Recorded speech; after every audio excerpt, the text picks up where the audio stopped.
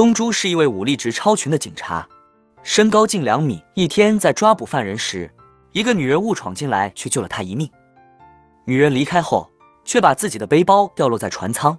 东珠好奇地打开，里面有一个素描本，只是几眼就吓坏了东珠，因为其中有一页画的正是刚刚撕掉的嫌犯，连细节都是一模一样。回到警局后，他还在看，在翻到最后一页时，他感觉那个人很眼熟，来不及细想，检察官智秀也是他的未婚妻，找来他想让东珠做文职人员，但冲锋在一线时，东珠的梦想，他不可能放弃。之后，智秀展示了自己的戒指，是他定制的情侣戒，上面还有他们两人名字的缩写。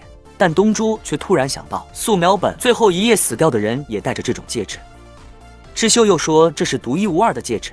东珠瞬间浑身冰冷，他搜索着画册每一页的线索，竟都是最近发生的命案，并且每一次都有那个女人出现，并且他还阻止过一些事件的发生。之后，东珠找到他，他直接质问他，画册最后一页是自己的未婚妻，并且手上的戒指他昨天才拿到，你怎么知道？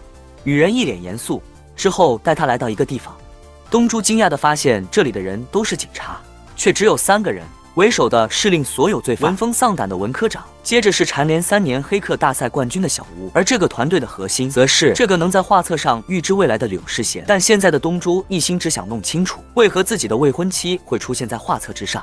这时的世贤解释道：“那些素描都是在案发的前一天或者前三天画出来的，也就是说你的未婚妻会有生命危险。”这样的说法显然东珠是不信的。但他并没有马上离开，而是津津有味地看着眼前的三人，分析画册上的线索。首先出现的是一个验孕棒，上面的两条杠说明当事者已经怀孕。接着是一团乌漆麻黑的东西，众人并没有认出那是什么。然后画册上出现了一个死者，旁边的地上还有一个时钟，而时钟停止的时间是六点五十分，也就是说下一次出现命案的时间很有可能就是五个小时之后。时间紧迫，文科长邀请东珠加入他们，这样也许可以阻止悲剧的发生。但这种天方夜谭的事情，东珠显然没有兴趣。但他在临走时还是说了一声：“第二张图上的黑影是一种针对性犯罪者的电子脚铐。”虽然他并不相信几人说的话，但离开后的他还是第一时间找到未婚妻，用自己转职做文员的条件，让身为工作狂的智秀休假三天，然后东珠就成了一个粘人的小暖男，就连续倒个垃圾的空隙。也得找理由让智秀摘下戒指。就这样，他们平安的度过了一天。第二天一早，诗贤就找到了东珠，讲述了画册中抱着智秀的正是东珠自己。也就是说，智秀死亡的时候，东珠是在现场的。而现在想要改变这种结果，只能让东珠暂时离开智秀。看着眼前的画册，东珠又该如何选择？这是一本能预知未来的画册，东珠却在上面看到了女友遇害的画面。为了阻止悲剧的发生，他决定跟随画册的主任诗贤去抓捕罪犯。临走时，东珠叫来警队的老幺，让他保护好自己的未婚妻，随后跟随诗贤离开。而之前，诗贤和小吴通过画册的线索，也已经确定了受害者的身份，所以两人就直接找到了受害者家里。刚进门，两人就被桌上的时钟所吸引，那正是和画册上的一模一样。但两人又不能说明来意，只能旁敲侧击的询问女最近周围有没有什么可疑人员。这个问题问的女人一脸懵，但她不知道的是，最近已经有人拍下了她的一举一动。途中上完洗手间的尸体。无意间看到了一个验孕棒，而这也和画册上的内容完全吻合。出去后，他对女人说着祝福的话，但就是这样的话，让前一秒还温润如水的女人，下一秒就崩溃的尖叫起来。原来孩子并不是她老公的，这让事情瞬间头皮发麻。她急忙给在外蹲点的东柱打去电话，见面后直言，这个女孩并不是这次的受害者。原来一个月前，女孩已经被那个罪犯得逞，而她之所以出现在画册之上，只因为她是通往下一个受害者的连接点。而另一边的罪犯已经在欣赏着这次的猎物，留给东珠两人的时间只有不到一个小时。更让两人崩溃的是，他们已经没有多余的线索了，因为画册上给出的线索都出现在了这个女孩的家里，他们又该上哪里寻找受害者？此时，另一边的东珠未婚妻却在接了一通电话后，背着老幺独自驾车离开。女孩被人侵犯，凶手却逍遥法外，并且还在策划下一场案件，而这一切都被一本神秘的画册记录了下来。而作为警察的东珠，竟然在画册上看到了自己的未婚妻。为了阻止悲剧的发生，他和画册的主人世贤找到这名被侵犯的女孩，从她嘴里得知嫌犯一共有两个人。当初他在被侵犯的过程中咬破了嫌疑人的耳朵，而通过这条线索，顶级黑客小吴很快锁定了案发当天前去附近医院包扎伤口的嫌疑人。那是一名汽车修理工，随即两人急忙赶到修理厂，但却发现这人的耳朵并没有受伤。随后通过了解得知，那是另一个修理厂的朋友，因为没钱才用了他的卡付医药费。当东珠得知那名嫌疑人的名字后，他的脸色猛然一瞥。随后在前往那个修理厂的途中，东珠讲述了他对那名嫌疑人的了解，因为当初就是自己把那个人送进了监狱。当两人赶到修理厂，那名嫌疑人在看到东珠后，果断挟持了一名来这里修车的女人。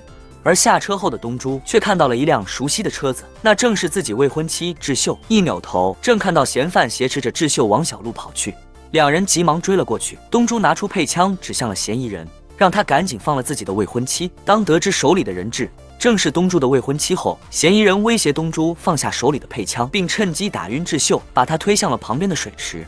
自己则趁乱逃离了这里。东珠想起画册上未婚妻死去的画面，他毫不犹豫地跳入了水池，把不断下沉的未婚妻救了上来。通过不断的心肺复苏，把在死亡线徘徊的未婚妻拉了回来。而世贤则在追捕那名罪犯时，被罪犯打中脑袋，晕了过去。这也导致那名罪犯逃离这里，并为接下来的隐患埋下了种子。当世贤在医院里醒来，看着墙上的时钟，他猛然想起白天看到的智秀，和自己画册中出现的智秀，两人穿的衣服并不是一样的。这也就说明智秀的死亡危机还没有解除，而此时完全不知情的东珠正准备带领智秀去外面吃大餐，庆祝智秀的死里逃生。可刚走进停车场，作为警察的东珠就感觉到了不对。可他环视了一圈，并没有发现什么异常。而这时，他的电话响了起来，正准备接电话的他，突然听到身后传来轮胎摩擦地面的刺耳响声。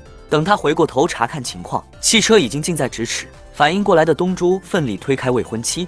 自己则被车子撞飞了出去。紧接着，那名罪犯从车上走了下来。他并没有对东珠痛下杀手，而是把他铐在了一处角落。但同时，他也把智秀带到一处无人的厂房，因为他要让东珠一辈子活在痛苦之中。兵王士兵中的王者，据说数量比之将军还要少。但就是这样的人，今天却迎来了人生中的至暗时刻。作为兵王的道镇休假回家，却看到家门口围满了警察。他推开人群，想要进去，却被阻拦在外。原来就在白天，一名四野男进入了他家。想要对他的妻子图谋不轨，但作为兵嫂的女人自然是奋起反击，这也同样激起了四野男的怒火。他用锤子残忍的杀了女人，而这一幕已经早早的出现在一本素描册上。随后他在逃走时被正好路过的巡警拦下，因为他一身的血实在是太扎眼。当道正走进家里，看着妻子所写的日记，他有一个验孕棒，他才知道昨天妻子打电话所说的惊喜。原来是她怀孕了。这一刻的她再也绷不住，一米八几的大汉瘫坐在地上，失声痛哭了起来。第二天，她做了一个决定，她要手刃凶手。随后，她趁机混入警局，却被一名神秘男人拦住了去路。男人告诉她：“你现在根本做不到，在数十个警察的看守下。”杀掉那个凶手。随后，神秘人带领道镇来到大街上，看着从对面车上下来的男人，让到镇上去干掉他。面对道镇的不解，神秘人解释道：一个小时后，那个人会酒驾，并且会夺走两个无辜之人的性命。道镇问男人怎么知道，这让道镇感觉智商受到了侮辱。他扭头就准备离开，这时的神秘人告诉他：如果不信，你可以在这里等一个小时，看看我说的到底是不是真的。就这样，道镇怀着半信半疑的心情在这里等了起来。突然，一个貔貅滚到了他的脚下。原来是一个小女孩踢过来，道镇捡起貔貅还给了女孩。没过一会，那个男人出来，但喝得酩酊大醉的他找了代驾，这让道镇确定自己碰到了骗子。他不知道的是，此时车中已经出现了问题。醉酒男对着代驾哭吐芬芳，代驾一气之下离开了驾驶室，而醉酒男子拖着笨重的身体坐到了驾驶室。此时正离开的道镇突然听到身后传来的喇叭声。他回头正好看到那个醉酒男驾车离开的画面，想起神秘人的话，道镇奋起狂追，试图阻止接下来要发生的悲剧，但他还是晚了一步。被撞的两个人正是刚才有过一面之缘的女孩和她妈妈。道镇惊恐的回过头，正好看到神秘人在他身后。随后两人来到房顶，神秘人又放出了一个重磅炸弹。原来道镇的妻子被害是有人指使，他告诉道镇那个人的位置。当道镇赶到那里，正好看到那名凶手准备对一个女人图谋不轨。而他的出现让凶手也犹如惊弓之鸟，拿出手枪对准了道镇，但他面对的可是一个兵王。拿到枪的道镇并没有废话，一枪打穿了凶手的肺。他要让凶手在恐惧中等待死亡。而这个被救的女人正是东珠的未婚妻。此时的他劝说到阵前去自首，但被道镇拒绝了。另一边的东珠在世贤的帮助下，很快也定位到了凶手的车辆。当两人赶到这里，映入眼帘的是已经死去的凶手。东珠往前走了几步，一扭头看到了倒在地上的未婚妻，他颤巍巍地走过去，才发现妻子已经死亡。抱着死去的未婚妻，东珠失声痛哭了起来。而这一幕也正好对应了画册的最后一页。这是一本可以预知未来的画册。目前画册中所有的案件都在现实中得到了证实，而眼前抱着未婚妻痛哭的东珠，早两天就知道了这个结果。虽然他拼命的阻止过，但最终还是阴阳。两隔就在几分钟前。道正杀掉了绑架智秀的凶手，但来这里之前，那个可以看到未来的神秘人告诉他，如果想要给你的妻子报仇，那必须让我看到你的诚意。最好的办法就是杀掉一个无辜之人，而人选就是被绑架的智秀。所以道正毫不犹豫地对智秀下了杀手。当东珠赶到这里，就只有智秀冰冷的尸体，而因为雨下的太大，现场所有的痕迹几乎都消失了。最后，警方给出的结论就是智秀开枪打中了绑匪，而绑匪在临死前又勒死了智秀。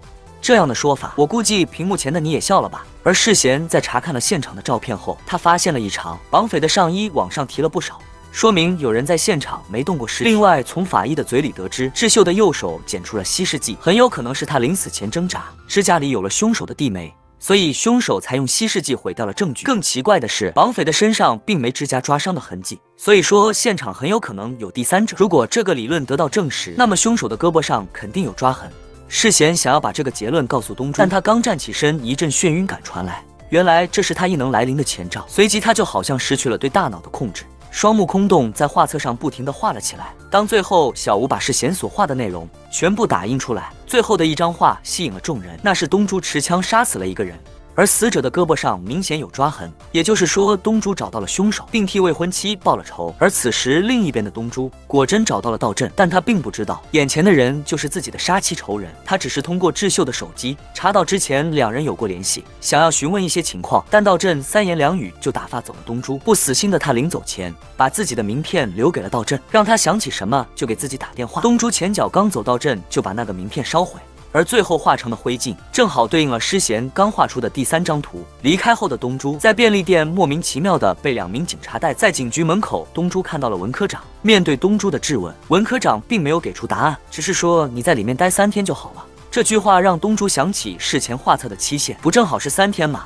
聪明如你的东珠马上联想到，肯定是画册的内容跟未婚妻的死有关。接下来他又该怎么？男人的未婚妻被人杀害，警方却认定凶手是死去的绑匪。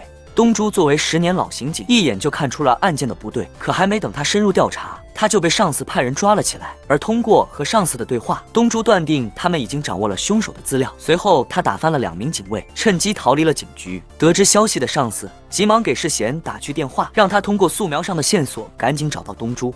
挂了电话的世贤，一抬头看到正前方的一个广告屏幕，这让他想起来自己素描出的第二张图。东珠就在广告牌对面的楼上，那正是他们小组的秘密资料室。而此时的东珠已经在这里看到了所有的资料，包括自己会杀死凶手的素描。当世贤找到这里，似乎一切已成定局。他想要阻止东珠前去复仇，因为那样的话，东珠也将成为杀人凶手。但复仇心切的东珠明显不懂得怜香惜玉，在打晕了世贤后，根据素描上的线索，驾车前往凶手可能出现的地方。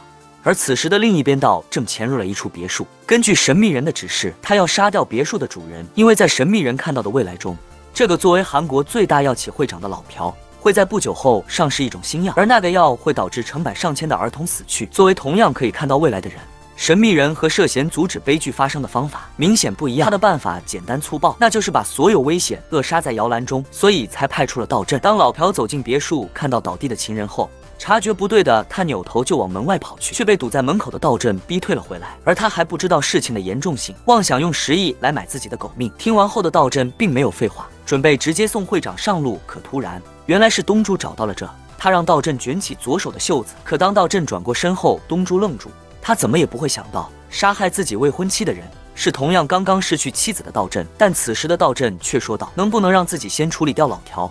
因为这关系到数百名儿童的性命，这句话让东珠感到很可笑。你刚刚杀了我的未婚妻，现在却正义凛然的想做救世主，这简直是滑天下之大稽。就在两人的对峙中，老朴趁机逃离了这里。东珠和道镇两人打了起来，他们在打斗中摔了出去。东珠拿着枪跪倒在地，而这一幕正好对应事前素描出的画面。看着地上的红色颜料，东珠察觉出了不对，原来道镇并没有死。接着二人再次打了起来。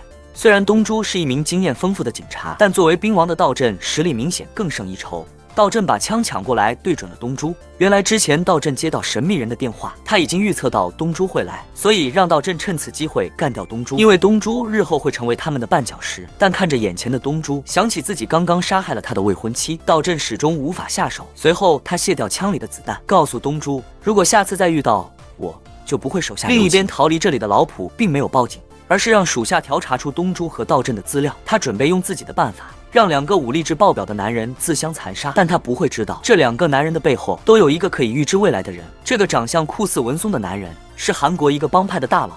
此时他正在探望的人是自己内部争气的弟弟，因为入室准备对女人图谋不轨，遭遇反抗就残忍的杀害了女人。探视完的文松刚走出大门，就被一名陌生男子拦住了去路。他告诉文松，自己帮他弟弟申请了精神鉴定，而这也是他唯一能救弟弟的途径，并且把押送车的时间和路线图。都交给了文松，而另一边的诗贤再次通过预言的能力，在图纸上素描出了押送车被劫、拍到他死去的画面。而黑客小屋也很快根据素描图上的线索，找到了事发地点，但他并不打算告诉诗贤。随后，他假装出去买咖啡，想要给文科长打电话汇报。但此时的诗贤起了疑心，他打开放咖啡的柜子，看到满满一柜子的咖啡，他想明白了什么，随即起身走到小吴的电脑前，打开了那份资料。而此时，另一边的罪犯四爷已经坐上了押运车，他可能知道今天会被救走，所以一路上都在唱歌，这引起了狱警的不满。他让四眼安静一点，哪知四眼只是推了推眼镜，接着变本加厉地唱了起来。而在他们的车后，几辆黑色的轿车已经尾随而至。车内的狱警看着挑衅自己的四眼，忍无可忍的他一脚踹在了四眼的胸口之上。哪知上一秒还好好的四眼，下一秒竟然口吐白沫，浑身抽搐了起来。惊慌失措的狱警赶紧叫停车辆。就在几人查看四眼的情况时，身后紧跟而来的车上下来一群西装暴徒，他们手持电棒，很快控制了车上的几名狱警。而刚才还口吐白沫的四眼，现在竟然满脸笑意的唱起了歌。接着他们把几名狱警捆绑起来。正准备离开，就被赶来的诗贤拦住了去路。他掏出配枪，试图控制几人，但文松却抓来了一名狱警，用手里的毒药威胁诗贤。看到狱警手上的创可贴，诗贤想起了画册上就有这个狱警死亡的画面。为了救下狱长性命，诗贤只好把枪扔在了地上。哪知文松捡起来，对着他开了一枪。随后，他们把世贤带到一处仓库。文松命令手下把世贤绑起来，但此时的四爷却自告奋勇。虽然几人知道四爷想干什么，但迫于他是老大的弟弟。几人扭头离开了这里，看着离开的几人，四爷也终于露出了本性。女人拥有预知未来的能力，却被一群普通人绑了起来。而其中的四眼还想对他图谋不轨，幸好文松赶来，才阻止了弟弟的荒唐行为。看着一天恨不得二十六小时都想着龌龊事的弟弟，文松也是气不打一处来。而另一边的特殊专案组却炸了锅，因为被绑走的诗贤不光是一名警察那么简单，他还有一个在最高检担任检察官的哥哥。此时的他正对着文科长兴师问罪，虽然不是自己的错，文科长也只能默不作声的听着。随后，他找到被关起来的东珠，请求他的帮忙。虽然自己并不想掺和进这个案子，但他也不能眼睁睁看着世贤被害。可是现如今的他也是自身难保，因为他暴力执法，被警队的内查克抓了起来。而在背后操控这一切的，竟然是那个神秘人俊叔。原来他是内查科的科长，但现如今这边有施俊这个检察官，东珠很快被无罪释放。而俊叔看着比自己级别高的施俊，也只能打碎牙往肚里咽。当东珠看完施贤这次的素描后，他在上面发现了一个细节，一个扎着马尾的人引起了他的注意，因为这个人之前他见过。随即他急忙起身离开，前往素描上的地点守株待兔。果真看到了那个马尾男文松，他急忙去追，但文松却走进了停车场。为了跟踪事故暴露行踪，东珠想到了用手机当定位器。随后，他去买了一卷胶带，趁文松倒车的空隙，自己撞了上去，趁机把手机粘到车尾部。文松却只以为是碰瓷的小混混，扔下一沓钱后扬长而去。随后，东珠打了一辆出租车，并用司机的手机联系到小吴，让他定位自己的手机。但此时，另一边的视线却遇到了危机，因为文松的离开，四眼又按捺不住心中的小火苗，他偷偷来到关押世贤的房间。加借给世贤包扎伤口，趁机开始动手动脚，而世贤趁他不备割断了绳子。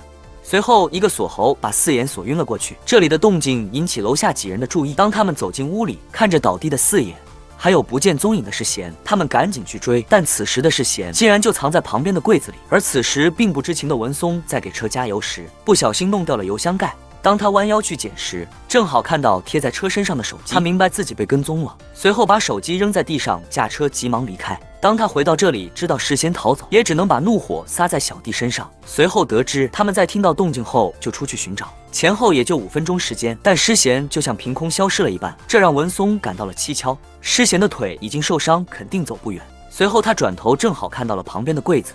女人从衣柜中被人拖出，虽然她试图反抗，但双拳难敌四手，很快他便只有挨打的份。随后更是被人套上了塑料袋。就在他要窒息而亡的时候，那个犹如救世主般的东珠终于找到了这里。他撕开塑料袋，看着被折磨不成人样的尸贤，怒火瞬间遍布全身。而文松眼看自己的小弟不行，直接掏出了手枪。东珠看到后挟持了文松的弟弟，而文松也毫不示弱，直接拉起了诗贤，两人就这样僵持了起来。这时的诗贤突然想起，他预言出的素描图上自己死亡的画面中，并不是现在的场景。随即，他做出了一个疯狂的举动，东珠也趁此机会一脚踢晕了文松，而他的弟弟四眼却趁机逃了出去。就在东珠去追的时候，四眼又高举双手退了回来。原来是道正赶到了这里，他终于可以替亡妻报仇。随后不顾四野的求饶，直接送他去了西北。道正的仇是报，但他杀害东珠未婚妻的仇才刚刚开始。两人又展开了一场生死较量。就在两人打得难解难分时，一辆黑色的商务车疾驰而来。不等两人反应过来，一群手持气枪的黑衣人从车上下来，对着两人就是一通乱射。而道震也被击中肩膀，随后被黑衣人拖上了车。而这一切的幕后黑手，竟然是那个要起的会长老爷。当初他从道震的手下死里逃生，他就开始在计划这一切。首先利用道震对四眼的仇恨，让手下找到四眼哥哥。利用重金让他找人劫持押运车，随后密切监视四眼的动静，这就有了道正被人绑走的一幕。可是他还是高估了自己，因为高端的猎人往往会以猎物的方式出现，高端的猎人往往以猎物的方式出现。这句话在这一集的明明白白。东珠从文松的嘴里得知，绑走道镇的人就是老普，他便独自一人来到老普的公司，询问道镇的下落。虽然承认道镇就在自己手里，但东珠想为妻子报仇的话，就需要帮自己拿来一份重要资料。而在这期间，老朴的手下想要给东珠下马威，却被东珠掰断了一根手指。回去后的东珠很纠结，要不要把这个信息共享给大家，因为一旦警队的人插手。他想手刃仇人的想法就会破灭，而通过和文科长的聊天，他做了一个决定。接着他就给老苗打去电话，告诉他资料会送过去。而此时那个手里握着资料的博士全然不知自己救命的药已经被人调包回家的他，也被东珠堵在屋里。通过友好协商，博士同意把资料交给东珠。可就在给资料的那一刻，他却突然捂着胸口倒在了地上，后面挣扎了两秒后便没了声息。离开后的东珠找到老朴，把资料交给他。而他在喝了老普递过来的一杯水后。老朴也终于露出了真面目，他递给东珠一份资料，那上边赫然是博士死亡时的画面，而拍摄的角度就好像是东珠杀死了博士。等东珠反应过来，一切已经晚了，他浑身无力的瘫软在了地上。而老朴也讲述了自己的计划，那就是东珠找到杀妻仇人道镇，两人在一阵打斗后同归于尽。不得不说，这真是一个一石三鸟之计。而此时，另一边的世贤找到博士家，刚刚已经死亡的博士，此时却奇迹般的活了过来。原来这一切都是东珠的计划。他在诗贤的素描上认出了那是博士的药品，结合图纸上换药人的手指打着夹板，这让他想起了白天的一幕。最后他断定都是老苗在背后捣鬼，所以他将计就计，联合博士演了一出苦肉计。而此时他的身上赫然装着定位器，可千算万算，却被一个电话打乱了所有布局。老朴接到了一个陌生电话，而电话那头的人赫然是同样拥有预知能力的俊叔，而他则把自己预知的信息全部分享给了老苗。怀着半信半疑的心情，老苗拿出扫描器给东珠来了个大检查，果然找到了定位器。随后赶紧去打电话，让人把道镇转移到一个叫陈平村的地方。此时，另一边的诗贤和小屋通过不断的对比，也终于找到了素描中关押到镇的地方。可当他正在追踪定位器的哥哥打去电话，却听闻他们现在所去的地方和素描图上的地方截然相反。原来，老朴把定位器随手扔在了一辆车上。如果现在他们掉头去追的话，起码要两个小时，等不及的是，先不顾小吴的阻拦，决定自己去，因为他到那里只需要半个小时。哪怕他明知道凶多吉少。画面一转，东珠被带到了一个地下仓库，此时的道震也被绑在椅子上，而东珠在打量周围环境时，却看到了熟悉的画面。这里的场景赫然和之前死亡的素描图一模一样，一个是特种兵的兵王，一个是有着十年经验的刑警。两。人现在却成了阶下囚，而且控制他们的老票。准备把两人都杀了，然后伪造成两人同归于尽的场面。但此时道震却一脸淡定，他说旁边柜子里有个惊喜。当手下真的在柜子里拿出一个包裹，老朴愣住，他是临时决定把两人带到这里的。道震怎么会知道这里有个包裹？原来这一切都是俊书玉知道的。他让道震提前把包裹放在了这里。当包裹被打开，那赫然是一枚定时炸弹。道震解开绳子，一步步走向老朴。此时的老朴已经吓坏了，他怎么也想不明白。万无一失的计划怎么会是这个样子？他捡起一把匕首，试图反抗，却被道真一肘砸晕了过去。就在道真要下杀手时，被反应过来的东珠阻拦了下来。就在两人准备动手时，诗贤赶过来，他拿出配枪，让两人都不要动。乃至这时的老婆醒了过来，他用匕首划伤了诗贤，被枪也掉在了地上。道真则趁此机会逃离了这里。龙珠起身想要去追，却又看到了正在和老婆打斗的诗贤，纠结万分的他看了看诗贤。又看了眼道震逃离的方向，最终还是向着道震追了过去。而诗贤和老普也是打得难解难分，最后还是作为警察的诗贤占据上风，把老朴乐晕了过去，但自己也因为吸入了浓烟，瘫倒在了地上。就在他绝望之际，门被人一脚踹开，原来是东珠折返了回来。就在刚刚，他去追到阵时，却突然想起事前的预言素描，那上边事前死亡的场景正好就是这里，所以他就急忙赶回来。他搀扶起事前，正准备离开，老朴却又醒了过来。枪响过后，老朴却倒在了地上。原来是道震返回来击杀。老朴在用眼神警告过东珠后，他扭头离开了这里。而老朴死亡的姿势，赫然和素描上诗贤的死法一模一样。素描出现了错误，这让诗贤感觉到了迷茫。而东珠说了刚才那个包裹的事。道震嘴里说过，有人知道他们会来这里。听完后的世贤推测道，朕的身后应该也有一个能预知未来的人，而且能力远在自己之上。这就能解释得通自己的素描为何会被改变，但此事众人并不知道。那个对诗贤关爱有加的哥哥，才是真正的幕后大王。女人又要在画册上杀人了，只因被他画下的人都活不过三天，但这并不是他愿意的。而这次出现在画册上的人，竟然是杀害他父母的仇人。为了保险起见，作为检察官的哥哥决定跟随世贤参与这次活动。他们根据线索来到一个地方，突然一辆车撞了过来。等世贤醒过来，发现哥哥不见了。而此时，一阵电话铃声响起，电话那头的人赫然是俊书。他让世贤拿来一本笔记，以此交换自己的哥哥。原来，笔记里掌握着道镇身后神秘人的信息。他们约定在公园见面，但只能是世贤一个人。可在世贤偷拿笔记时，被东珠撞个正着。无奈的他只能把一切告诉了东珠。随后，东珠陪同世贤来到公园，很快道震便赶了过来。世贤把笔记交给道震，道震说他的哥哥被关在冷库。随后他们就分开了。世贤前往冷库，东珠则跟踪道震。但作为兵王的道震很快察觉到了跟踪他的东珠，他给世贤打去电话说关押你哥哥的冷库虽然断电不至于冻死，但不流动的空气也会导致他缺氧而死，让他联系东珠不要再跟踪自己。等他离开之后。告诉他的哥哥在哪一届，事先给东珠联系，让他不要再跟东道镇。可面对自己的杀妻仇人，东珠怎么会轻易的放过他？他们二人再次打了起来。而此时，事先想起之前素描出的号码，那正是冷库门上的代码。他根据这个线索，终于找到了哥哥。另一边的东珠也放倒了道镇，眼看就要抓到杀妻凶手，一辆车却向着他们撞来。原来是俊书赶来救道镇。回去后的俊书告诉他。自己并没有预言的能力，而是另有其人。很快，那个人就来了，他竟然是诗贤的哥哥。原来两人都有预知未来的能力。诗贤是通过素描预知未来，而他的哥哥却是可以直接看到未来。诗贤并不知道哥哥的这个能力，还和他一起追踪巨书和道真的下落。这样的反转让小编的表情包都惊了出来。随后，施俊给道镇一个任务，让他去把检察院的部长杀掉。这天，部长在一个游轮上参加活动，道镇提前来到一处狙击点，随着目标进入狙击范围。正瞄准了那个部长，就在这危急时刻，事前出现扑倒了部长。随着一声枪响，刚才正和部长聊天的检察长被一枪毙命。原来他才是这次的任务目标。当东珠找到狙击地点，早已人去屋空。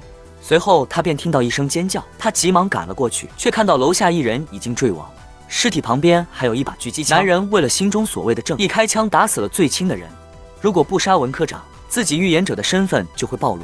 他也非常伤心，因为文科长不光是他的前辈，也是他的好友。文科长临死前给他说了一句话：“他不只知道你的身份。”随后便没了声息。原来世俊正在审问老崔，因为老崔是老爷子的人，而他通过预知未来，知道老爷子会让社会陷入动荡，所以为了心中的正义，他抓来了老崔。没想到文科长找到了这里，所以他只能含泪把文科长杀掉。在文科长的葬礼上，施俊找到东珠，因为文科长临死前说的踏步者就像一座大山压在胸口。他询问东珠知不知道踏步者是谁，这个问题让东珠大吃一惊，因为踏步者只有他和文科长知道。文科长临死前说出那句话，就是在赌施俊会找人打听。于是东珠开始怀疑施俊就是杀死文科长的凶手。随后通过他的调查，他确定施俊应该就是俊书和道镇身后的预言者，但他并没有把这个消息告诉别人。这天，东珠和世贤找到了被绑的老崔，老崔把当时的真相告诉了两人，施俊就是杀害文科长的凶手，这让施贤一时无法接受。他没想到对自己疼爱有加的哥哥会做出这种事。就在他们准备带老崔离开时，道正回来，东珠让世贤带领老崔先走，他来拦住道正，但道正并不想恋战，他的任务是把老崔干掉。如果老崔联系上老爷子，那他们的计划就会付诸东流。在摆脱掉东珠后，道正开车一路狂追，但还是晚了一步。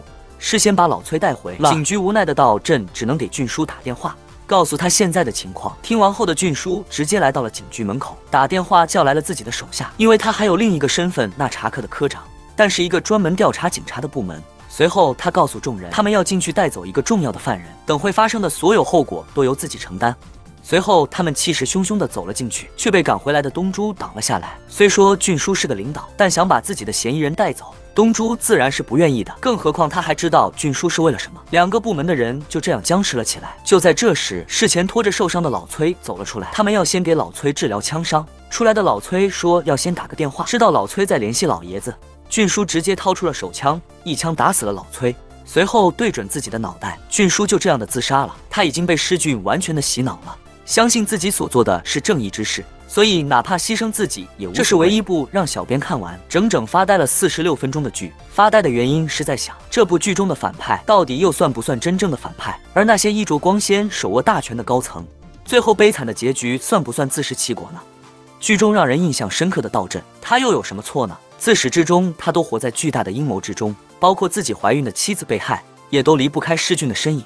但不知情的他之所以帮助施俊，也是在他失去活下去的信念后，遇到那个自称拥有预知能力，还能让他手刃仇人的俊叔，并且还给予他活下去的理由。他就是把犯罪扼杀在摇篮中，让世间少一点像他这样的人。所以，他上了这条船，并听从俊叔的安排。杀掉了东珠的未婚妻，而作为警察的东珠，在知晓道镇就是杀害未婚妻的凶手后，他曾经也黑化的想过，找个机会直接干掉郑，哪怕拼上自己前程也无所谓。但文科长的一席话让他醒悟了过来，身上穿着这身警服就不能罔顾律法。所以有几次他都可以干掉道，但都被他逃离了。包括自杀而亡的俊书，他也是被施俊所绘画的蓝图所吸引，因为他的内心充满了正义，他想要帮助施俊构建一个没有犯罪的社会。所以为了不让施俊暴露，哪怕牺牲掉自己，他也无所畏惧。再来说说本剧最大的 BOSS 施俊，他只是拥有了预知能力，看了太多的死亡画面，所以小时候的他也用这种能力救过一个想要自杀的人，但结果却是那个被救活的人。放火烧死了两百多名无辜的学生，所以从那以后，他的思路就变了，那就是直接把危险扼杀在摇篮中。所以他物色了道镇这样的兵王。虽然在这个过程中他走偏了路，但他的初心却是为了正义而战。所以当最后面对道真贺世前的抓捕，本有机会反杀两人的他，在看到未来两年后自己调查了十年之久的老爷子被世贤和东珠逮捕的画面后，他才准备自我了结。而这个所谓的老爷子，就是让韩国差点迎来第二次金融风暴的黑手。所以说，这部剧表面上是探案剧，骨子里反映的却是韩国的官官相护，让作为检察官且拥有预知能力的世俊都不得不采用非常手段。